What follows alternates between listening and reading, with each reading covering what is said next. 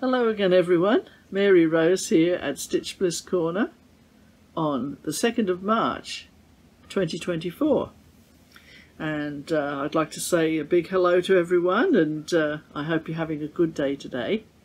Uh, it's getting towards the end of our summer uh, but we've had a lot of uh, cyclones and things up in Queensland and um, that weather does tend to uh, spread across the country a bit, and uh, you know you get humidity and a bit of rain as a result. So um, it's been a bit like that. Uh, I'm hoping today, because it's Saturday, that the skies will be blue later for all the brides, uh, because it's always nice for their photos to have a nice blue sky. Uh, a lot of you know brides do worry about their wedding day and what the weather will be like. Not surprisingly, I think we've we've all uh, experienced that, and um, but hopefully things will be okay for them. I always think of them on a Saturday. anyway, on with the uh, video. Now, before I go any further, I would like to sincerely thank all the people that uh, complimented me on the last video, which I dedicated to um, this particular piece, which is Dear Guest from Far Away by Oscar uh, Freiwirth Lutzow. And uh, that was the entire video I just dedicated to that piece. Um, and I must say that when I look at it, I can scarce believe that I have actually completed it and it's there on the wall and uh, it's well you never tire of looking at it. I mean it's just mesmerizing. So anyway for those of you are, who are not fans of that particular piece which i would fully understand because it's not everybody's cup of tea rest assured that you won't have to see that piece again. So that's that's something, isn't it? Now, so we'll move on now to what I did after I completed that piece. And I actually stitched on this one, uh, The Dove of Peace, by Sandra Berrigan, or Bergeron, I should say, Bergeron. And uh, she's done she's done a very thoughtful piece there on um, the symbols of Christianity and faith and I, she's done a beautiful job. And this lion here, I think he might be based on, um, I have no proof of this, but I'm just wondering if she was influenced to put him there uh, because of a book called The Lion, the Witch and the Wardrobe, which was a, a book written by C.S. Lewis. And that lion, Aslan, in the story, was symbolic of Christ. Uh, and I think he has a very, for a lion, he's got a very benevolent look about him. And I was very careful with the stitching to try and replicate that wonderful, uh, benevolent look on his face, which you don't really associate with a lion. And there is the branch in the dove's beak that told Noah that uh, the floods were receding. Beautiful story. Uh, anyway, so here is the stitching. So I'll just show you that first.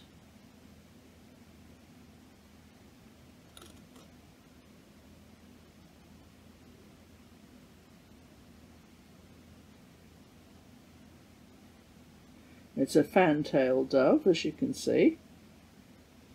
Harlequin likes doves um, and pigeons. he put seeds on the roof of our garage for them to come down and, uh, you know, feeds them through winter as well so that they're happy. They live inside the bamboo. We've got some bamboo out there. And one morning I went out and a, a dove stuck its head out, out of this sort of big area of foliage of the bamboo and there's this dove's head poked out to look and see what I was doing. It was really quite funny. Uh, because of course it's good in there because they're protected, you know, and uh, I think there's a few cats around and uh, they're pretty safe inside there. So I made a few notes here. A fantail dove. Um, now, what was suggested for the outline of the dove, you know, the feathers, the wings and everything, and the and the and the head of the dove. What was suggested was black. Uh, but I didn't use black, I used a dark grey 413 to outline the wings, DMC 413. And I chose black to outline the features within the design.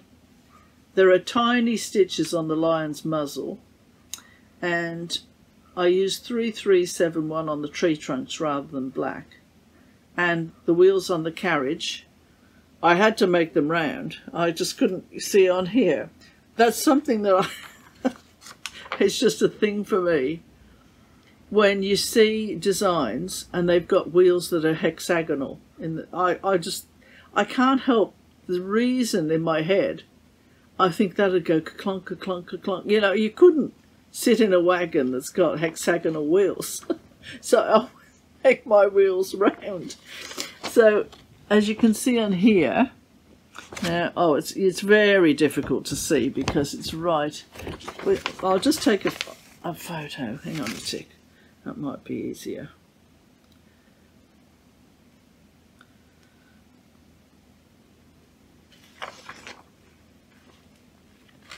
See if I can get a bit closer.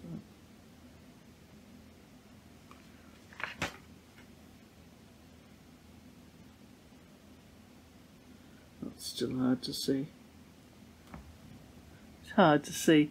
But see how they're sort of like ovally looking? it's very hard to see. That's the little wagon there. And here's Aslan. Oh, I call him Aslan. The lion there. He had very tiny stitches up around his muzzle, which would be very hard to see around his nose there.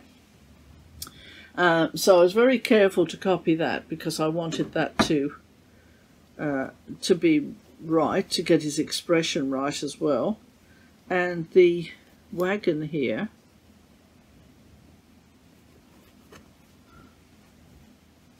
um, you see they're as round as I could make them. In fact, I tried to make them so round they almost look square, so never mind. I was happy with them, so that's, that's the main thing, isn't it, with your stitching. Now, the other thing I wanted to point out was that in the actual design, oh, well, I'll show you because I got Harlequin to uh, do some photocopies here because I, wanted to show you. Um,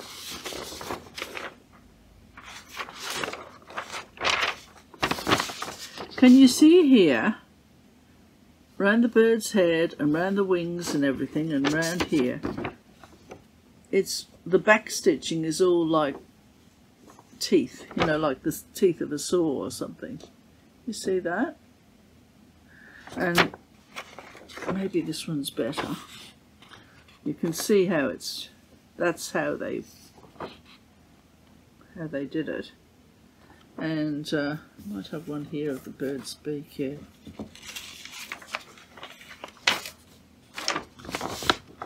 see. Now, I, I just, I don't like that. Now, some people, or maybe a lot of people, think there's no problem and they do like it, which is fine. Everybody's different and it's really what you prefer. But there's something in me, like the square wheels or the hexagonal wheels, my brain doesn't like it. So I don't backstitch, I couch around shapes so that they to me look more natural especially when it's a, a living creature.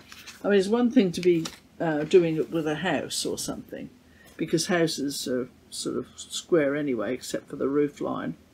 But um, I wasn't having it. So that's what I did I did couching and there's a stark difference between the two Plus, it's a lot quicker. Just look around that wing there. Okay, I'll just show you the other again in a minute so you can see the contrast, the difference. And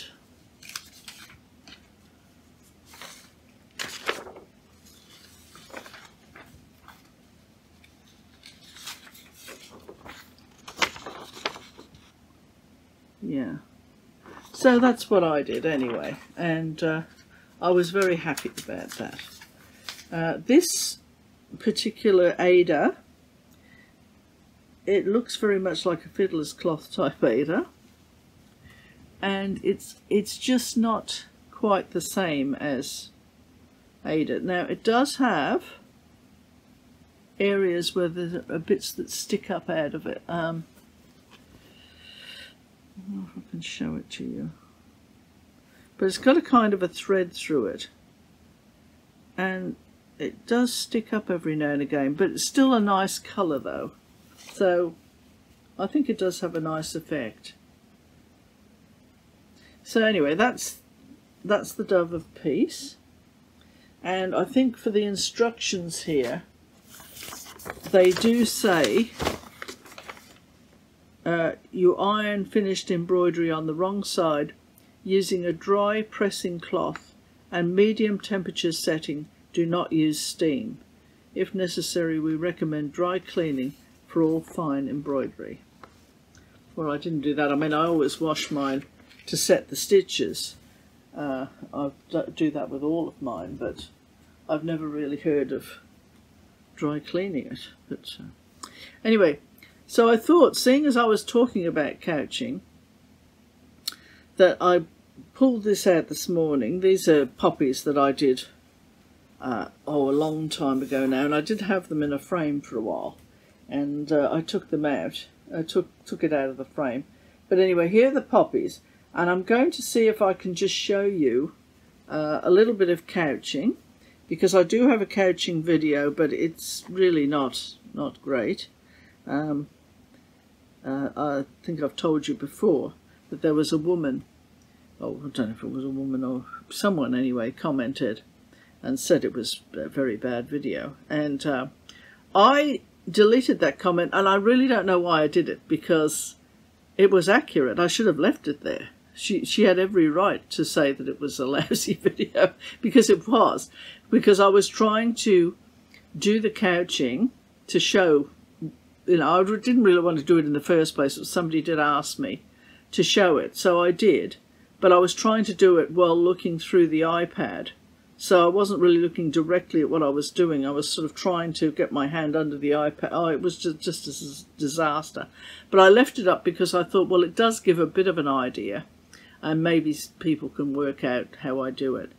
Um, and then, you know, there are only two comments I've ever uh, deleted on my videos. Uh, that one I shouldn't have. The other one, I really had every right to delete it because it was completely incorrect. So, uh, but anyway, um, here's the poppy here. And I'm just going to show you a little bit of couching just around the petal. Okay, at the moment, it does have couching around it, but it's red, which I really don't know why I've done that because you can't really see the red but maybe it just defined it a little bit more, I don't know. So what I've got is I've got my needle here and I've got the two loose ends. Oh, where can I show you? There, see? Two loose ends. And then the other end is where the loop is.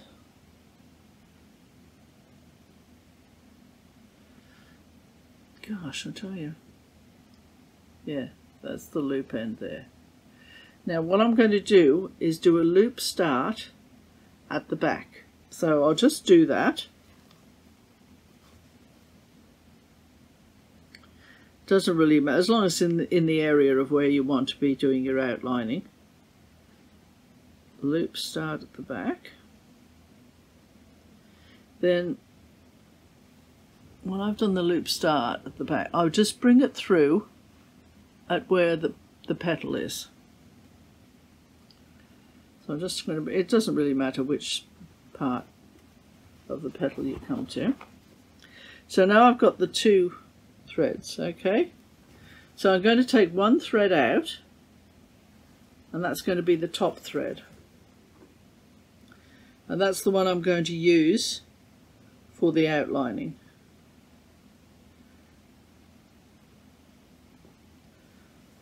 And then the other thread, I'm going to poke back down to the other side to the back. Okay, so you've got one thread on the bottom underneath and you've got the other thread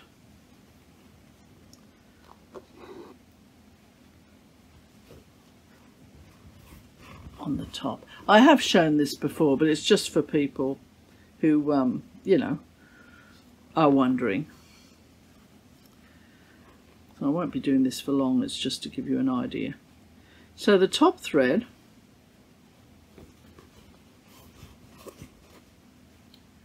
this one. You can roll it around you can do anything with it see that? So it's very mobile and it can follow the contours of your petal very easily so I'll bring the the other one through now from the bottom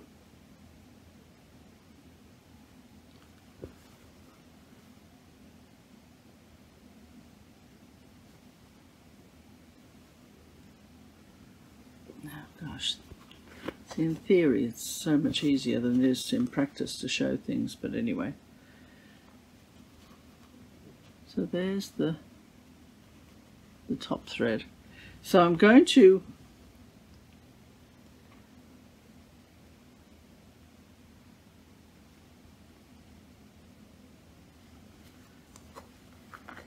just take that top thread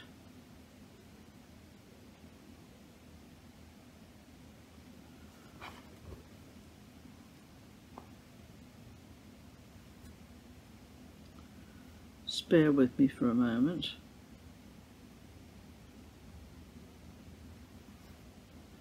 Just going to do a few just to get it started.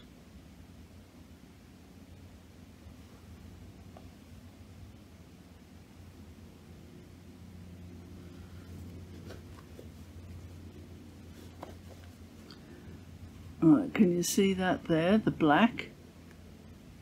It's going around the edge of the petal. Now I'm going to go there and so you can just see it going round the petal with a nice natural curve.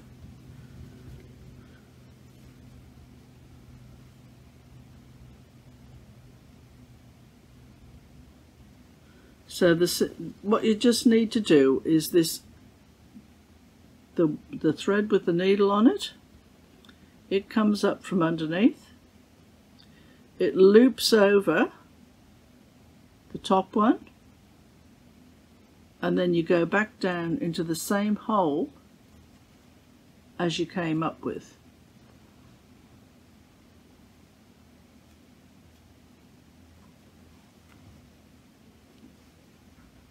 and that's how you get that effect and you can imagine how much easier and quicker that is than backstitch. So, I mean, give it a try if you want to. And if you don't, well, that's, that's entirely your own personal business, as they say. All right, so on to the next thing. After Dove of Peace, I decided that I wanted to stitch uh, Though He Seemeth Sleeping, those words. Um, and the inspiration came from a piece by what's her name? Hang on minute. Lucy Beam, Love in Stitches. Lucy Beam, Love in Stitches. I'll just show you the picture. Wait till I.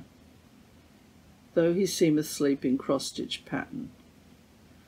And I don't know if this was a reproduction or what Lucy did there, but she, uh, you know, produced her piece of Though He Seemeth Sleeping uh, in a sampler form.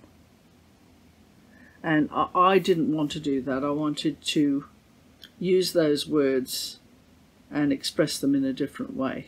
Um, so I'll just put my iPad there and show you what I mean. Now,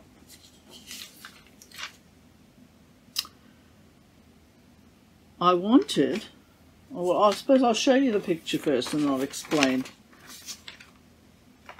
how I came about doing it.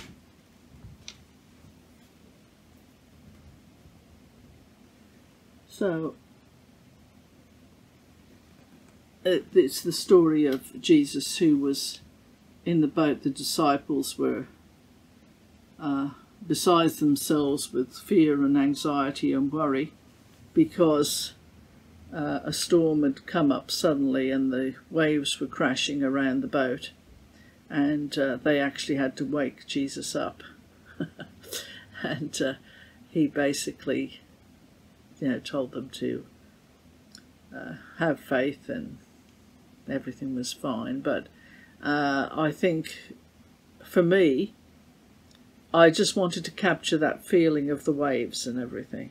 So that's why I chose to use these waves here. Sorry about the reflection there. And that I got from uh, the Rocky Point Dimensions kit. I adapted those waves for this piece against the black Aida cloth, 18 count.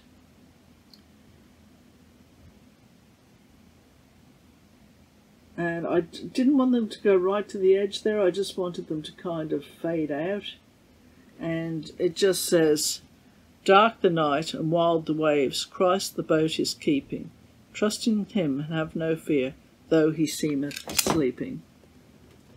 And uh, that Aida cloth uh, it was really quite uh, rough on the threads.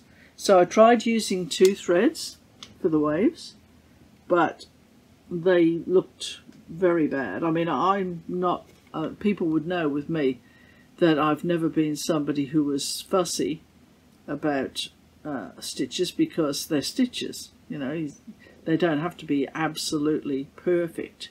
In my view, I think it takes away a little bit when things are so perfect that it's almost like a, I don't know, a row of teeth that have been, uh, you know, produced that way uh, by braces and all that sort of thing. They look they look fine, they look good, but they almost look too, too perfect. But even for me, uh, these stitches were not laying how I would like. So I just used the single strand instead. So that's my Though He Seemeth Sleeping.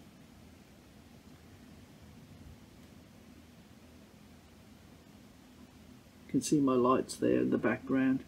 Uh, it's very difficult to get your lighting when you're doing videos. I find it's, it's actually it's a nightmare, to be quite honest, because they never seem quite right. But it's probably more to do with the subject matter they're reflecting off than the actual lights themselves. But anyway, uh, and the other thing I was doing was uh, this one here, uh, Tranquility uh, that one, uh, which was more really for the the cat down there on the sofa than anything else, but I do like it. I think it's quite nice. Uh, and this is as far as I got with that.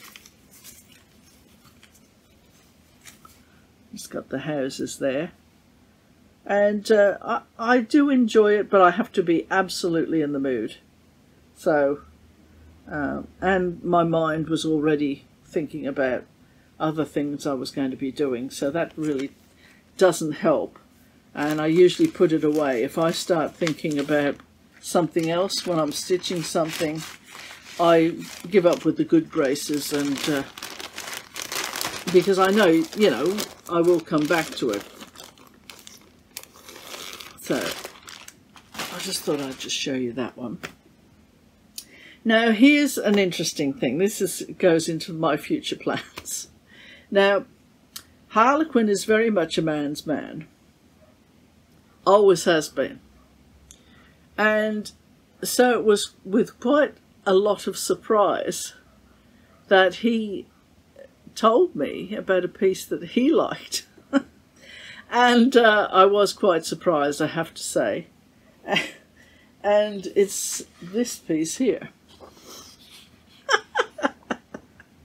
Don't you love it? Now, he does like cats. And his father, leather cap that he wore, uh, you know, with this area here for the earphones and everything.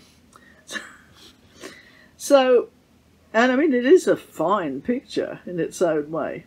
So I said to him, look, I think I, I don't mind uh, stitching that one, but I really don't want to be stitching the background because I'm just got too many things that I'm planning to do and it does take a while to do the background.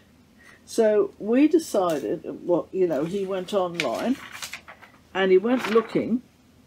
There's, there's another picture of it here. So it's a beautiful cat, isn't it? It really is. Uh, and it's Anki Coleman Designs cross stitch. I'll be doing 18 count. Uh, and the, the fabric that he ordered is this one here.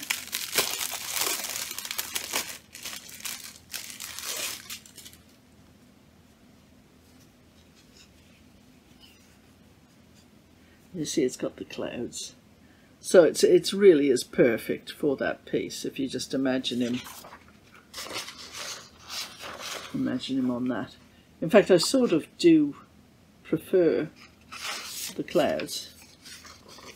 Um, so anyway, uh, we'll decide which way up the material will go.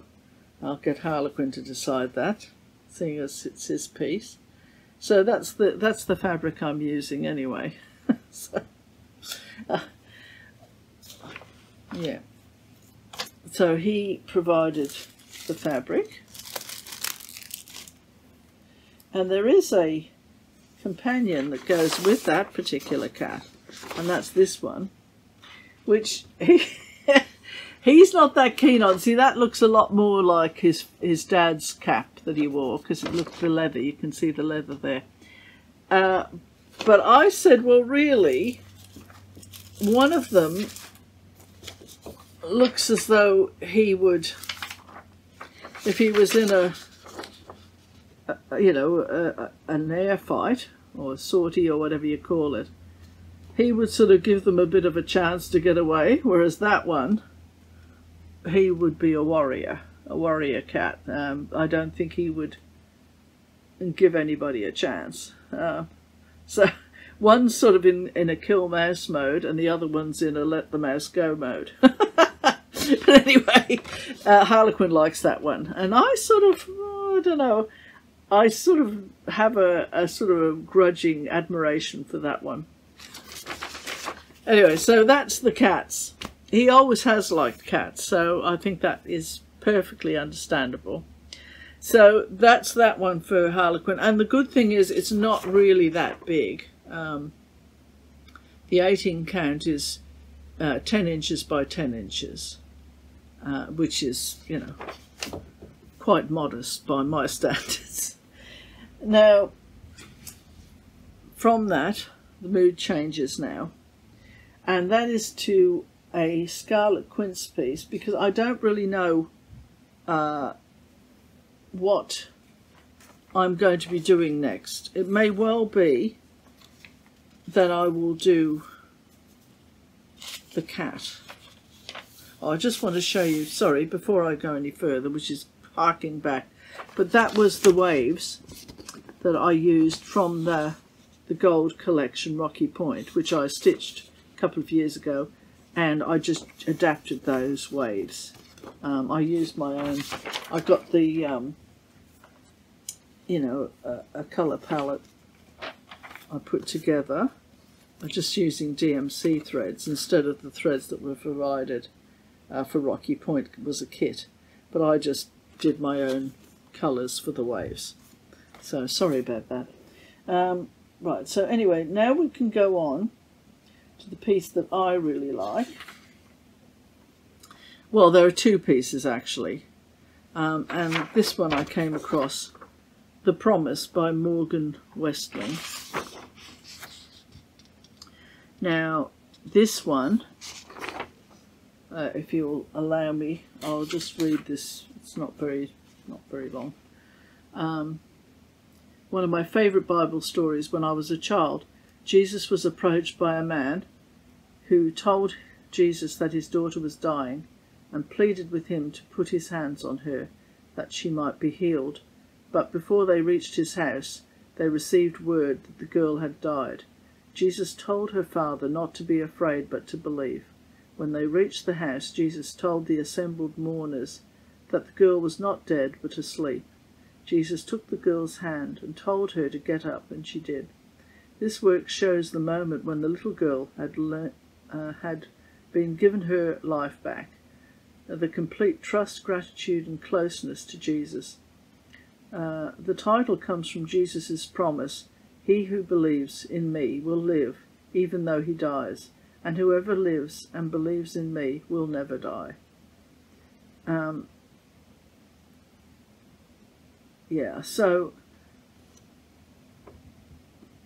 I, when I was three, almost four, I nearly died of pneumonia.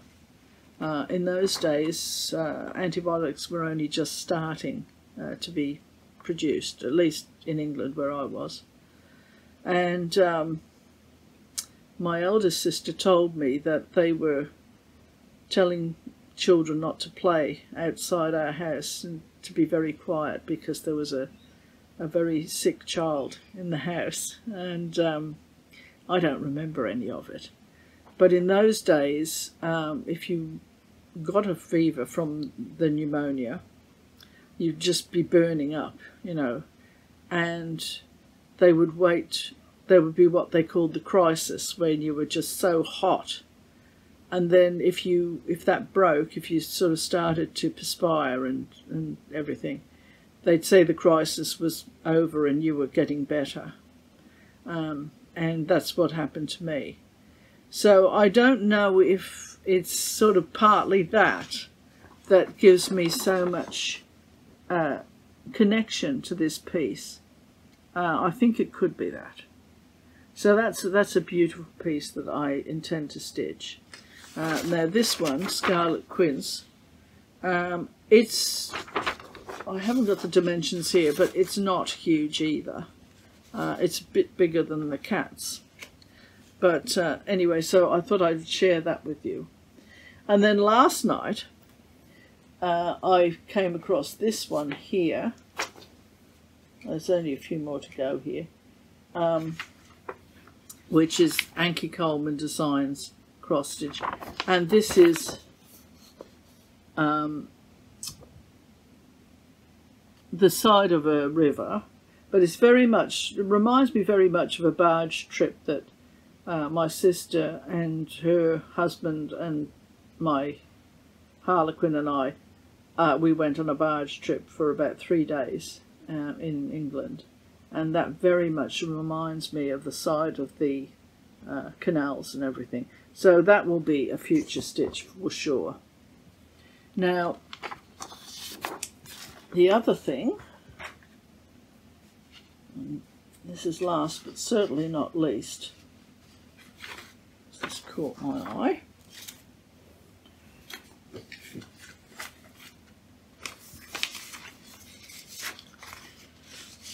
Where is the, top page here somewhere. So I've got a few things over here that I don't want to go flying.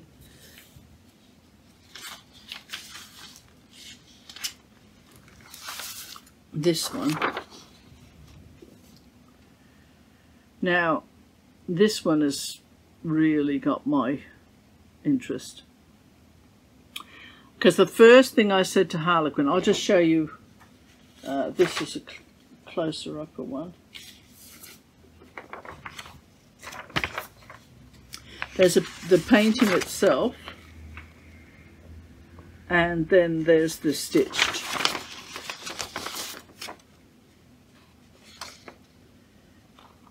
And the first thing I said to Harlequin when I looked at it was, it looks as though a time traveller went back to that day and took a photograph. I've never seen the Last Supper presented in that way. You've got the women there who were doing the catering. The whole thing is just really, I don't know, there's just something about it. So that is what has taken my interest. So uh, very likely I will be stitching that one and I will also be stitching Harlequin's cat. So in a way I will probably have two going at once. So, but in the meantime, oh wait until I just do this first. It's Anki Coleman Designs and the size I'll be doing 18 count 27 and a bit inches by 13 and a bit inches. So they, they've certainly put a lot into that small, relatively small area. So, um, you know, it just takes my breath away, actually, that piece. Now, before I do any of that stitching, I have four secret stitchings that I'm doing at the moment. They are petites, and they're only two designs, but I'm doing four of them. So they're secret stitches. Uh, so I have to do those first before I get to any of this other stitching. So that's just so that uh, you know uh, where I'm at. Um, Maynia, I am thinking of doing something and I'll just have to see where I am when May rolls around. So that's all my stitching and my plans and everything. Um, and I now will go on to the uh, drawing that I was talking about, which I won't spend much time showing you. But the good thing is, uh, so there was a comment that, because uh, I said that Harlequin had bought me some pens and pencils and things, this person said, tell Harlequin to stop buying you pens and pencils because we want you to keep stitching. but for that person, just so that they're reassured, uh, it's not really taking any time away from my stitching because I'm doing, they're almost doodles in a way, and I'm doing it um, when we watch TV. So I don't really stitch when watching TV anyway. I mean, I could, but I have to bring everything out of the stitchy room to do it. So uh, and I don't usually watch that much, maybe an hour or so. At the moment, we're watching this rather uh, strange show. Uh, it's called uh, Married at First Sight. and my daughter uh, wanted me to watch it because she likes all my comments about what I think of all the couples. and I must say, I do see the funny side of some of it because they pick particular personalities so you can sort of see where it's going. And I can't help myself but chip in about what I think about the whole thing. And of course, that's what she wants me to watch it for, so she can hear my views on it. Uh, but there are times I can't actually sit and watch it because it's so cringy. So I do this doodling at the same time. And uh, so I'm paying attention, but I'm not actually watching it fully. Uh, and uh, so this has come in very handy anyway. So I'll just show you what I mean.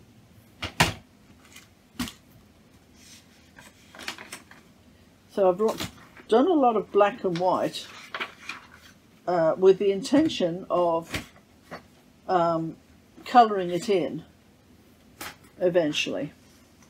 So there is a little bit of colour. I did do a little bit because I was saving uh, my pencils. Now my pencils, Harlequin got me some pencils. And of course, he doesn't do things by half measures. Let's look at that, 300. 300. So in, even though it's not cross stitch, in floss tube tradition, I did not get any of the pencils out um, yet, which I will be getting them out. But if you just have a look at the top layer, because they're in they're in layers like that in the box.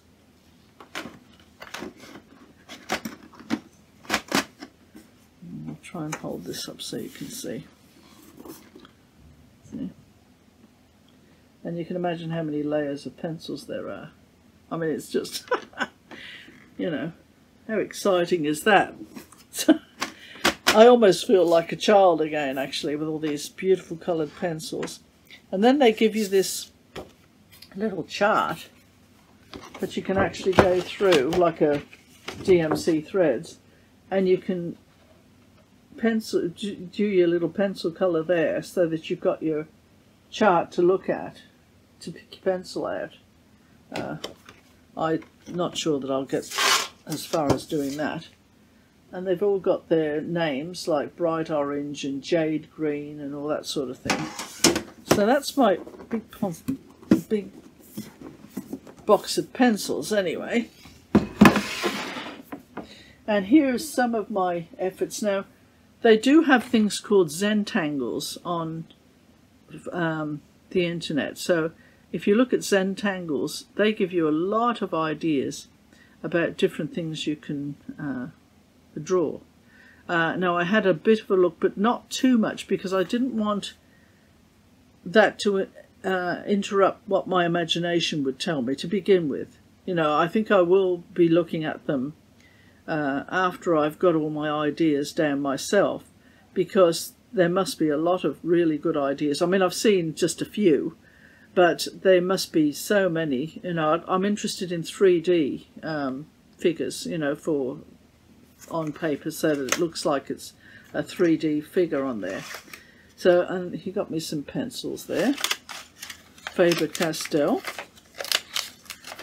So I've been, you know, having a look at those. So here's here's some of the oh see that's got a, a green man in it. I just put him in. And there's acorns and things. And oh, what else have I got in here? Because these were the got me some of these for sketching. So I'll just show you a few of them.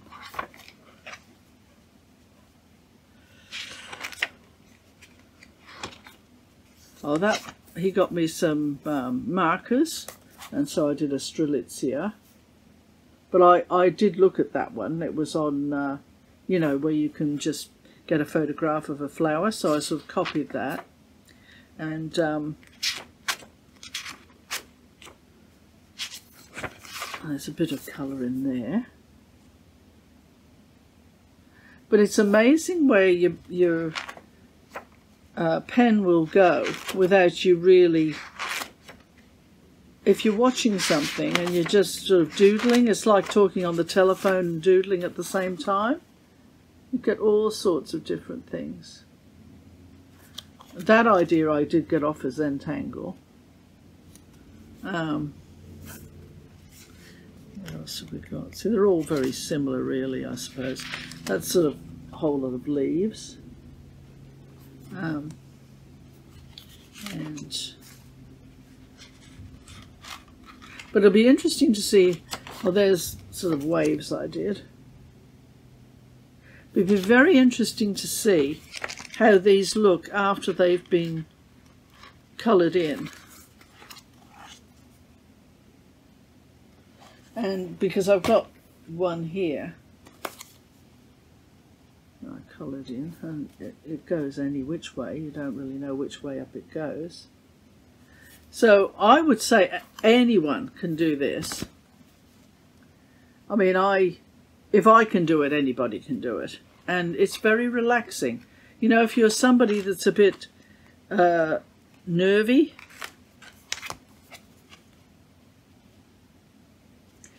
uh, it really does help to calm you down. Um, what else have I got? Let's see if there's anything else here worth, worth looking at.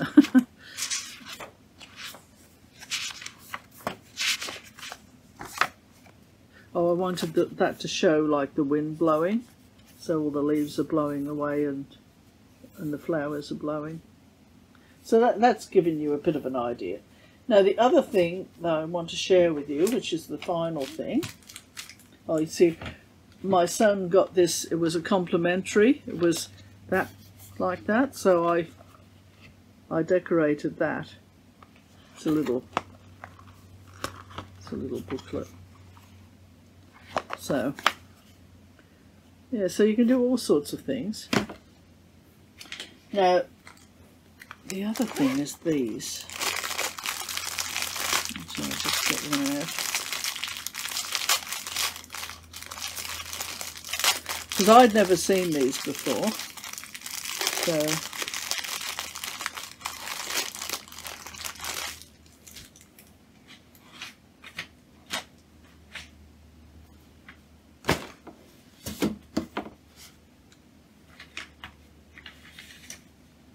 See, this was a, a Zentangle type thing. See there. And these are little, they're almost like erasers, but it's pencil. Like, it's paper. That's sort of like a paper. And what they call them, um,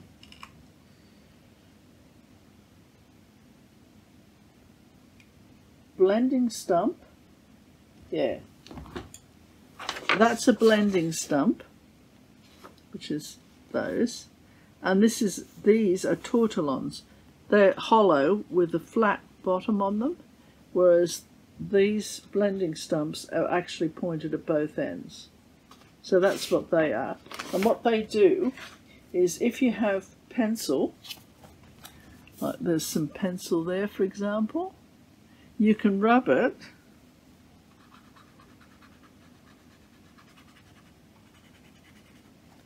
and it kind of blends in and shades it a little bit. So that was quite interesting oh, because I've never even heard of these. So that was fun. I'll just see if I can. I mean, this is just all of this is just playing around. And the good thing about it is that you really can't make mistakes because you're just doodling around. It's just patterns, you know. I mean, and endless things you can uh, with lines and and things. So I'm going to have great fun colouring all these in because I've sort of, in a way, I've made myself a colouring book, haven't I? Uh, so I'm just suggesting to you that if you want something that's relaxing, all you need is a pen and a bit of paper, really. I, I was using these pens, which are um, Sharpie S gel pen.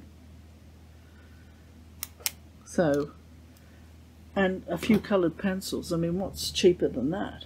So, just a thought for you anyway. Um, and I do, I find it very relaxing when we're watching, as I say, this show. I think they do have them married at first sight in other countries. I'm sure they do, uh, England and America.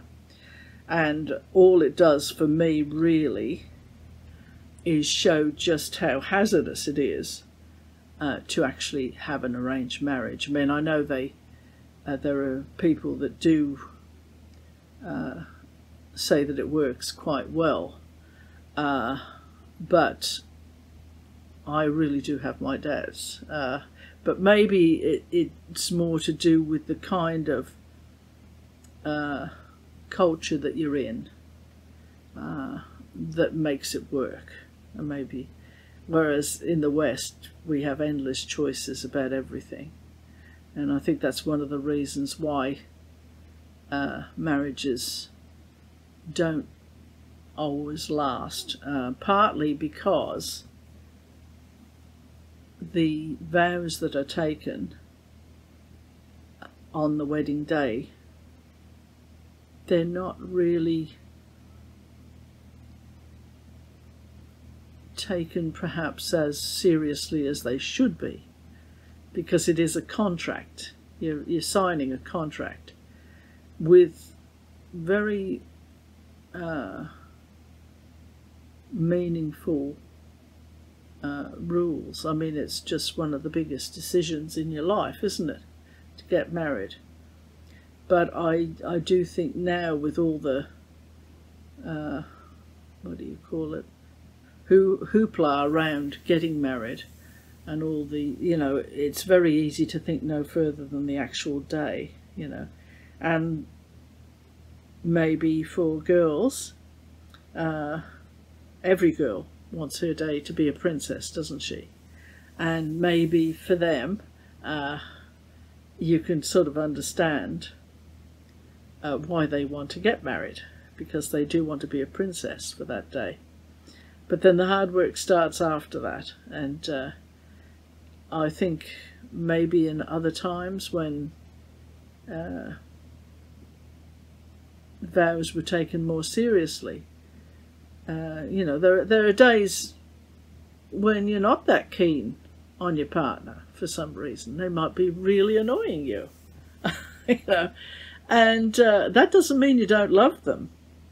And uh, you know that's the point, isn't it? I think uh, there's maybe a little bit too much reliance now on what the person does for a job, what uh, their income is, uh, if the female's working, how much she brings to the table, and all the rest of it.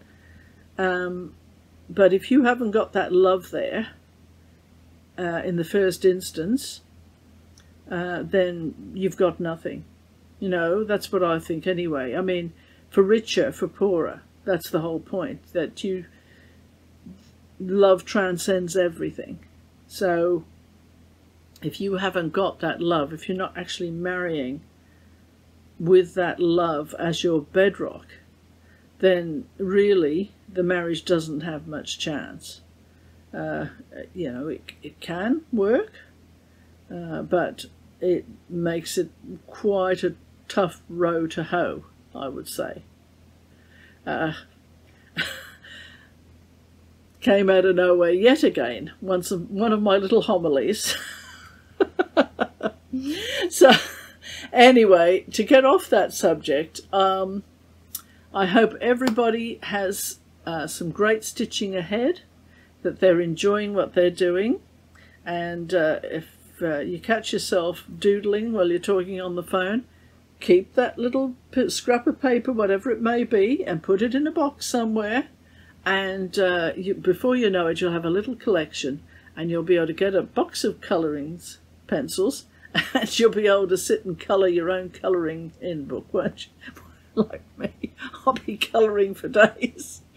Uh, so I, this box of pencils, to be honest, it is quite daunting because there are so many different colours.